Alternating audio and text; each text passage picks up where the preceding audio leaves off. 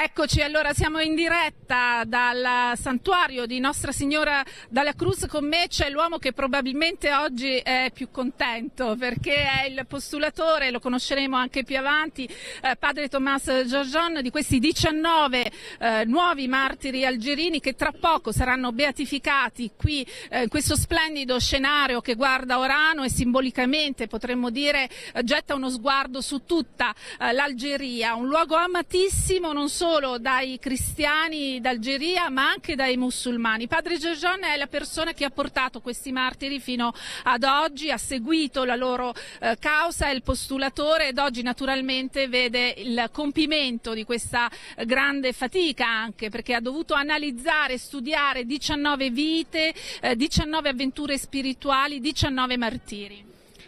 Sì, è il compimento di una prima tappa perché ce ne sarà un'altra, speriamo, con la canonizzazione, magari ci rivedremo in San Pietro. Oggi siamo ad Orano, è una gioia immensa, non così per il lavoro compiuto, ma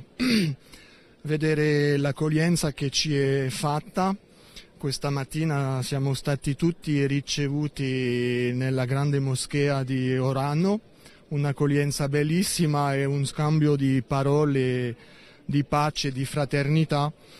E ovviamente oggi vedere i membri delle famiglie dei 19 che sono qui con noi, anche le famiglie religiose. E ieri qualcuno mi diceva ma è un po' strano perché tutti sono gioiosi. E oggi è celebriamo la vita, non celebriamo la loro morte, celebriamo la loro vita donata a Cristo, donata al Vangelo e donata al popolo algerino e, e al paese.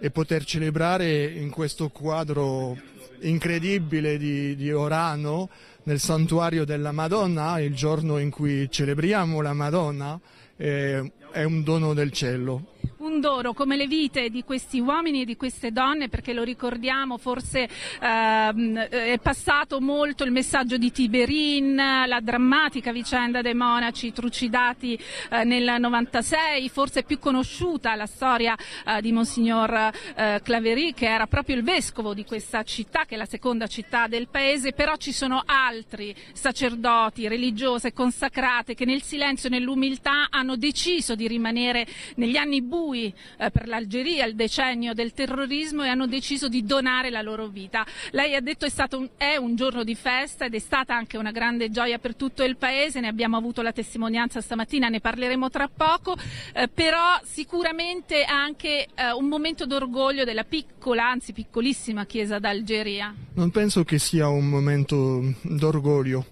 eh, penso che questa celebrazione rappresenta per la, la Chiesa di Algeria un, un, incoraggiamento nel suo modo di essere Chiesa in un paese musulmano, vedere tutti i sacerdoti, le religiose, i laici che lavorano qui ad Orano, ad Algeria o altrove nel paese, vedere che oggi e dei religiosi e delle religiose che hanno vissuto in Algeria vent'anni fa e che hanno fatto lo stesso lavoro che fanno oggi. Sono riconosciuti non tanti come, sì, oggi sono beati martiri, però ancora una volta celebriamo la vita donata, cioè non la morte. E spero che ci possa dare uno slancio per la Chiesa in Algeria e anche nei rapporti con eh, i fratelli musulmani, non solo ad Orano, non solo in Algeria, ma magari anche altrove, almeno è il, il sogno nostro. Già il primo miracolo è il tempo, oggi proprio bello,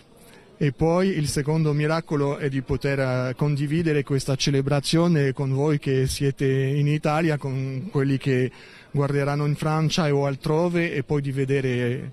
eh, tanta gente che sarà qui a Ororano. Infatti, infatti Nicola dobbiamo dire che qui oltre ai familiari delle vittime, oltre naturalmente alle congregazioni religiose, ricor- lo ricordiamo erano otto le congregazioni che hanno dato questi fratelli e queste sorelle alla terra d'Algeria, eh, ci sono anche tantissimi imam, ci sono tanti musulmani, questa è veramente una celebrazione di festa per l'intero paese, per un intero popolo che riconosce queste vittime come sue vittime all'interno all'interno eh, di quello che sappiamo è stato un vero e proprio genocidio, oltre 150.000 eh, persone che hanno perso la vita durante gli anni del terrorismo nello scontro eh, tra eh, islamisti e eh, giunta eh, militare. Naturalmente di tutto questo vi parleremo, vi restituisco la linea e lasciamo andare padre. Grazie. Grazie. Grazie